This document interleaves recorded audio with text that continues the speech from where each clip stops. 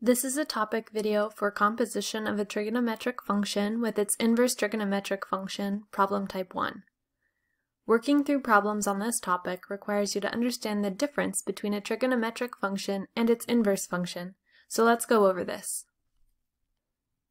Cosine of x and cosine raised to the negative 1 of x, also known as cosine inverse of x, are inverses of each other. You may see cosine inverse of x written as arc cosine of x in some presentations, but they mean the same thing. Suppose that we want to know the value of cosine pi over 4. It is best to have such values memorized, but in case you don't, you can make a drawing of the unit circle. Pi over 4 is 45 degrees, and 45 degrees is in quadrant 1. We are given an angle, pi over 4, and we need to find cosine pi over 4. We sketch the unit circle, or at least quadrant 1, placing the vertex of our 45 degree angle at the origin and the initial side along the positive x-axis. We estimate the size of our 45 degree angle knowing that the terminal side of the angle will bisect quadrant 1. We draw the terminal side making sure it extends to or through the unit circle. We drop perpendicular towards the x-axis from the point where the terminal side intersects the unit circle. We label the hypotenuse 1, since the radius of the unit circle is 1. We know the central angle is 45 degrees, so we know the third angle is also 45 degrees. We recall that in a 45-45 90 degree triangle with hypotenuse 1, both legs have length square root 2 over 2. So we can label the point where the terminal side intersects the unit circle as square root 2 over 2 square root 2 over 2. If we do not remember these facts, we redevelop them by using the appropriate methods. Suppose that we want to know cosine inverse of square root 2 over 2. This means that we must find the angle that has square root 2 over 2 as its cosine. We are given the x value of a point on the unit circle and asked to find the corresponding angle. Looking at the unit circle, it seems that the solution to this would be pi over 4 and 7 pi over 4. Since there must only be one answer to this type of question, inverse trigonometric functions are restricted to which parts of the unit circle the answer can be in. Looking at this table, we see that the inverse of cosine is restricted from 0 to pi, which includes quadrants 1 and 2.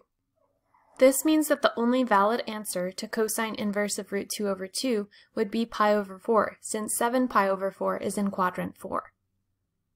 It is also important to know that inverse trigonometric functions may be written as cosine inverse or arc cosine. Both forms represent an inverse function. Now, let's do an example. Note that this problem can also be written as this, since arc cosine and cosine inverse are both notations that we use to denote the inverse of cosine. To start these problems, we first solve what is inside the parentheses, in this case, arc cosine of negative root 2 over 2. Recall that for the inverse cosine functions, you are given the x value of the coordinate point and need to find the angle while keeping in mind the restrictions of the inverse function. Referring back to our table, the restrictions for the cosine inverse function is from 0 to pi. What is the angle that makes arc cosine of negative root 2 over 2 true? Since we are restricted to the top half of the unit circle, it would be 3 pi over 4. Great work! So we just determined that arc cosine of negative root 2 over 2 is equal to 3 pi over 4. Now we can substitute this into the original expression and write cosine of 3 pi over 4. What is the cosine of 3 pi over 4? Because we are looking for the x value at the angle 3 pi over 4, it would be negative root 2 over 2. Since cosine and arc cosine are inverses of each other, do they cancel each other out? That's a good question. This problem may lead you to think this is true, however this is not always the case. Let's look at another example that disproves this theory. We will start with the function within the parentheses, tangent of 11 pi over 6. We may reference the unit circle and look at the angle 11 pi over 6. Most unit circles don't include the tangent values, but that's okay because we can calculate it. Recall that tangent equals sine over cosine. Sine 11 pi over 6 is equal to negative 1 half. Cosine of 11 pi over 6 is equal to square root of 3 over 2. So, negative 1 half divided by square root 3 over 2 is equal to negative 1 half times 2 over square root 3. This simplifies to negative 1 over square root 3.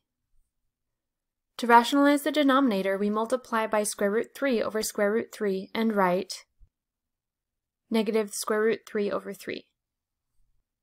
Therefore, tangent of 11 pi over 6 is equal to negative square root 3 over 3. Now, what is arctangent of negative square root 3 over 3? Would it be 11 pi over 6? That would be the answer if there were no restrictions. However, arctangent is restricted to negative pi over 2 to pi over 2. Therefore, the answer would be negative pi over 6.